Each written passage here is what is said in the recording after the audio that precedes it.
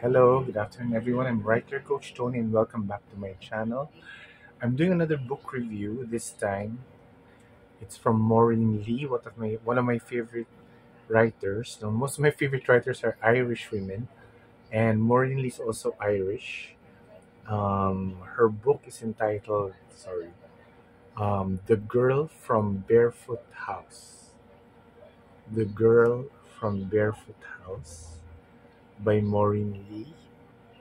So actually, I read Maureen Lee and another Maeve Binchy books almost simultaneously. So the stories kind of overlap with each other. So medyo nahihilo ko which are the stories. But here, the protagonist is Josie Flynn and she lived in Liverpool. And in the beginning of the book, she comes from the poorer side of Liverpool. And um, yeah, her mother um, was a working girl, you know, working girl. And then she had to take Josie with her when she had to do her clients. But she puts Josie in another place. And the problem with that setup is some of these men are pigs, no? So they take advantage of her. And the worst part of it all was um, um, it put uh, Josie into you know a, a scary situation because she has to work uh, because her mother has to work while she's there and she has to be hidden somewhere. You know. So anyway, unfortunately, it was held during World War Two, and um, there were bombings in the UK. And uh, I'm not sure if Liverpool was included, but anyway, in the book, her mother dies. She lives, she lives, thankfully, Josie Flynn, but her mother, beloved mother, dies because the bomb really fell on the comfort room where she was doing her thing, so she really died. And she had to live with her Aunt Ivy, which turned out to be kind of a monster who hated her mother and whose husband, Vince, sexually abused her. So this was a part of the book I wanted I did not want to read anymore because I could not take stories about uh, children being being abused. So yeah, it was hard to read. But anyway, I plodded on, and uh, thankfully, as I read, the story became more more upbeat. No, so um, so even if her aunt Ivy was horrid to her, she focused. Josie focused on her on her goals. No, sorry. Um, yikes. Mm-hmm. A bit unstable. Uh huh. Okay, moved. Move it, move it. I think more light.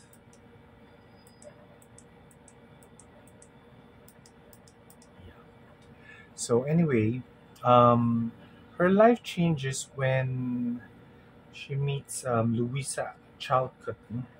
So she works for this woman. She looked for Josie was looking for a job, and she worked for Louisa Al- Chalcott, who was a um, a poet. And then their personalities were the same. No, surprisingly, their personalities were the same. So Louisa and um, Louisa and Josie hit it off. Although Louisa, uh, Josie felt that her life was not going anywhere because she was just taking care of an old woman, and this old woman, Louisa, turned out to be, you know, not really super good. No, I mean she's she's okay. She takes care of of um, Josie, but she, you know, she's not a nice person. Nice person. In the end, though, um, she shows how nice she really is to Josie by allowing her to leave and then find her place in the world. And um, yeah, so Uh, as the story continues, Josie marries Jack Coltrane, who she meets in I think London, and then um, she was she was in a bar, and then she meets, she sees him, and then she focuses on him, and then through a strange twist of fate, their paths crossed together, and they became, you know, they became husband and wife. But it was a very tragic relationship, very very tragic, because they had one daughter. Um, I think her name was Laura, Laura, and then when Laura was growing up, the relationship between Josie and Jack was um, was not very good because Jack turned out to be a womanizer and um, unreliable as a dad. So, um, you know, probably the most shocking event in the book. Um, should I tell this? I think I should. He runs over Laura you know, because um, um, he was driving and then the garage was open. So when Laura heard that her dad was coming, she ran to the garage while Jack was backing up and then she he hits Laura. In the book it's not it's not it's just implied, no, but it was shocking when I read it. It's like and then it pauses, it goes to the funeral kagad. So it's a bit shocking to read because um, I didn't expect Laura to die because um, yeah, she's just a kid in the book and she really loved her dad. She was so into her dad. And um, to be in an accident caused by her own father, I'm sure was shocking to many readers. So, from there, let's see. Um, let's read. Let's see where this goes. A fire blazed in the black metal fireplace with its fancy tiled surround. The Tiffany lamp was on, casting jewel colored shadows on the walls and ceiling of the small room. Dina lay face down on the mat, drawing. Josie held a Sunday paper on her knee. It was a gloomy December day, but cozy inside. She might put the decorations up later. It was only a week off Christmas. So eventually, she has another baby. Um, I think the baby's also the kid of Jack. It was a you know belated gift, and that baby was Dina. And Dinah had a difficult childhood because she came as a baby. She was an unwanted baby, and she came kind of a replacement for Laura, which really sounds very unfair to her because she's not a replacement, she's another person. But that was how they treated her. Unfortunately, you know, these a hole parents. So, uh, in the beginning, Dinah, you know, even as a kid, she felt she wasn't loved by her mom. So, it was a difficult childhood for her. It's only when she grew up that she, when she had her own children that she realized that it was good to have a family because you had to have a husband and you had to have kids and then she realized that the family uh, if they really help each other could um, become a strong unit no and that was the happy part no? when dinah grew up she was um, she had a turnaround and realized how important her family is. Um,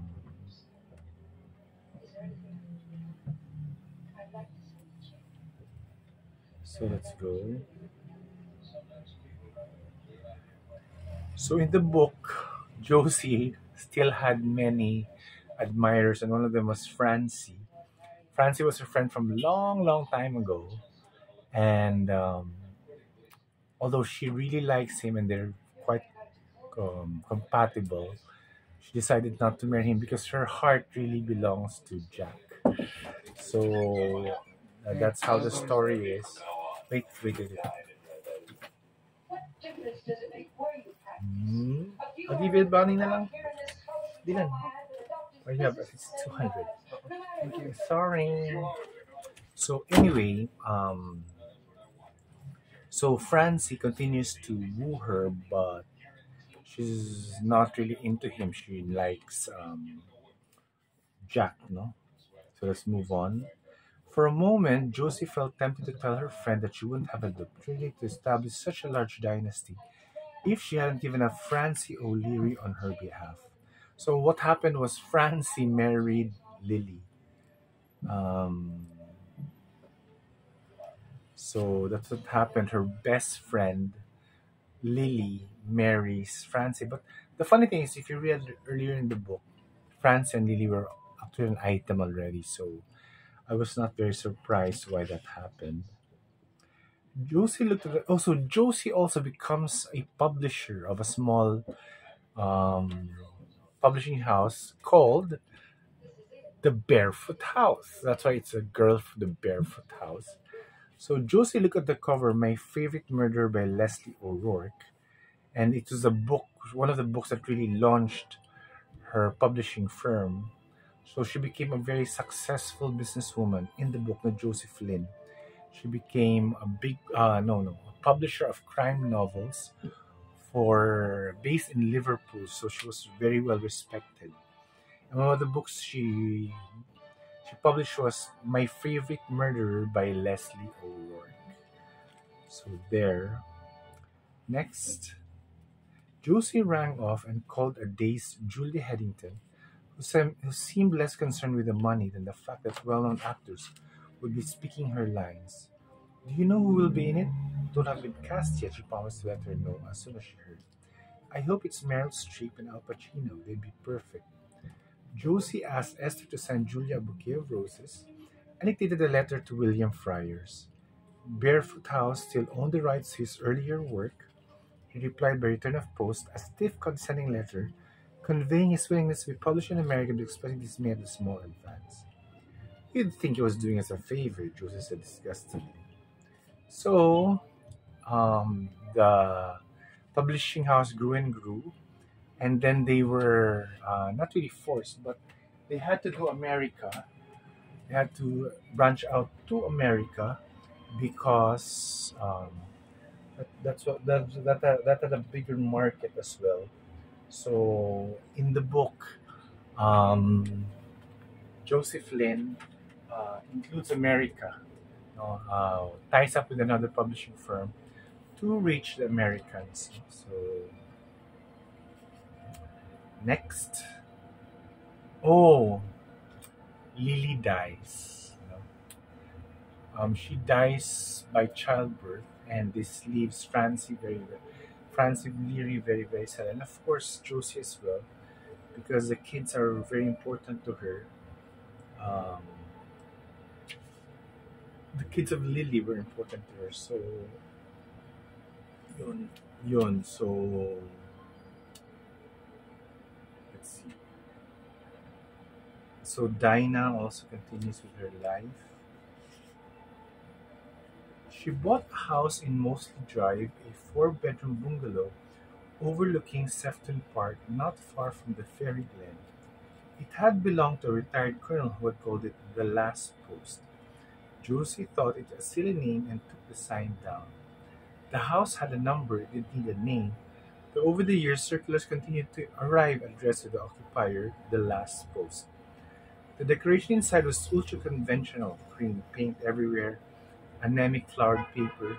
She had the walls stripped and painted dusky jeweled colors deep rose pink, turquoise, amethyst, garnet, red, topaz, with curtains to match made from lustrous silks. Much of the furniture was bought from a was bought from a warehouse in London, but imported from all over the world. So this was just to show that Josie became very rich, and um, yeah, but she was still very in love with Jack. Hmm. Because um, what happened when they were younger, Jack had a strong persona that he he became the life of the party, and that made Josie very happy. Because even as they aged, um, Jack still had that um, that joie de vivre, no, that je ne sais quoi. which really sets him apart from other people. And so when they have parties, even in the house, Josie, who was such a simple person, Josie Flynn, the lead character, um, yeah, she she preferred being in the sidelines. She didn't really mind that she was in the sidelines. So one of the writers that that Francie liked was Dottie Venables. no? She was a so Dottie Venables came to stay, having driven from London in her battered Mini. She wore her leather jacket and jeans, and she had brought a few bare necessities in a plastic bag. She said it's enough. You're very lucky, Dottie said. You've got a bloke I'd sell me soul for. A great improvement on the other one, the stuffed shirt Ben. So Ben was still loving, was showing her love, his love for Josie, but yeah, um, Ben does something very bad towards the end of the book. Um, so there.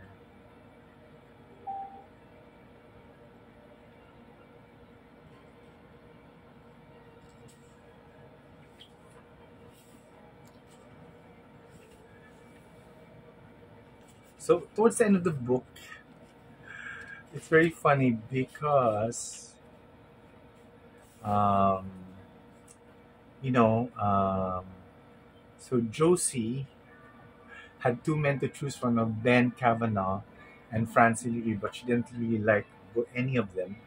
So she tells Dottie. Dottie was planning to go around America. She was, you know, an older woman, uh, more than my age, but she was an older woman. But she wanted to travel the U.S. So what happened was, so I'll read the last part. Dottie said, "See you back at the house, Josie." She took it for granted that Josie wouldn't want to live in a decrepit Mini with rusting doors and an engine that sounded a bit like its owner's gruff voice. There's nothing left for me, Josie thought despairingly, as she glanced from Ben to Francie, from Francie to Ben. Then from nowhere came a vision of leafy jungles, hot, arid deserts, trains and buses to faraway places, strangers speaking languages she didn't understand. She caught her breath Dottie was about to slam the door of the Mini. Dottie, she called. Yes, Josie. Can I come with you? So with that great ending, um, it opens another chapter of fun for Josie Flynn, the, the girl from Barefoot House. So, so this girl in red, the illustration here, and she becomes Josie Flynn, the adult who loves life, you know, who, who wants to experience life. So that's one of the best lessons of the book, no, from Maureen Lee. I strongly suggest you read it because it's a, the stories. There are many, like any Maureen Lee novels, there are many um, characters, so you have to be careful, read them carefully, and then there's a sense of family in it. There's a sense of intimacy between the the different characters, which I like very much. And it also talks about more about family, which is kind of the novel I want to read. No, books about family.